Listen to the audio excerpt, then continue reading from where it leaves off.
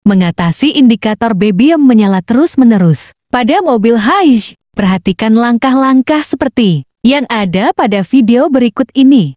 Belum menonton? Jangan lupa like, comment, unsubscribe. Mekanik mudah. Tempat story di dalam tutorial. Mechanic Muda.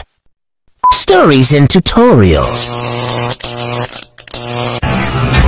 Welcome to channel Mechanic Muda Tempat Story di dalam tutorial.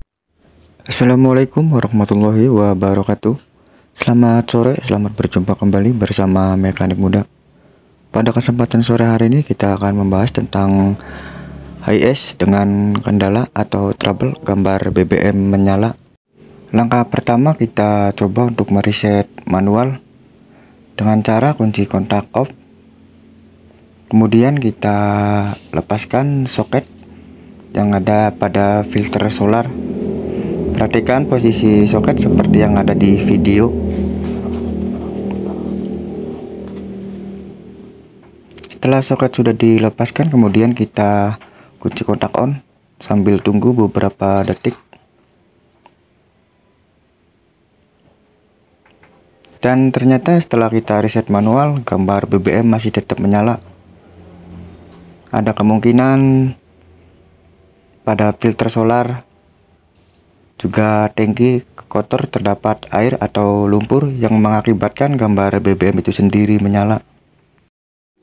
Dan benar saja setelah kita membongkar tangki solar terdapat endapan lumpur baik di dalam tangki ataupun di filter solar bagian dalam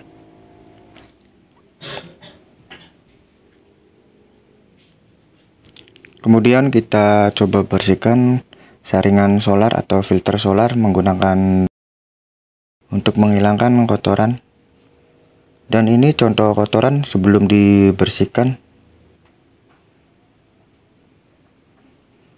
Setelah filter atau saringan solar bagian di dalam tangki sudah dibersihkan, kemudian kita ganti filter solar sambil kita bersihkan bagian dalam dan setelah filter solar sudah dibersihkan kemudian kita pasangkan kembali ke tempatnya.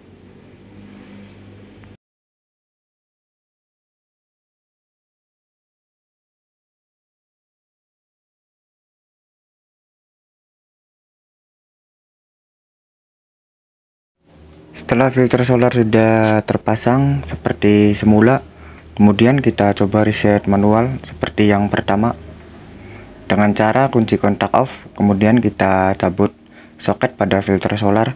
Kemudian kita kunci kontak on tunggu sampai beberapa detik. Sekian dan terima kasih tutorial pada sore hari ini mengatasi HS dengan kendala atau trouble. Indikator BBM menyala terus. Saya pribadi mohon maaf yang sebesar-besarnya kalau ada kesalahan dalam tutorial. Baik cara bekerja ataupun cara berbahasa juga kalau ada kritik dan saran silahkan komen di kolom komentar karena berbagi itu indah. Jadikan ilmu yang bermanfaat buat orang lain. Terima kasih.